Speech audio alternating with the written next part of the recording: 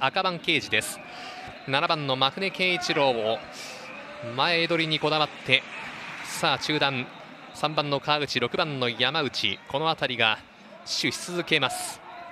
誘導は外れて初手の隊列から変わりなく来ましたが4番の小畑がジャン前から果敢に踏み込んでいきました。真船健一郎に対して仕掛けの体勢4番小畑勝弘突っ張る7番の真船5番の新田がさあ1番の河合をさばいて小畑が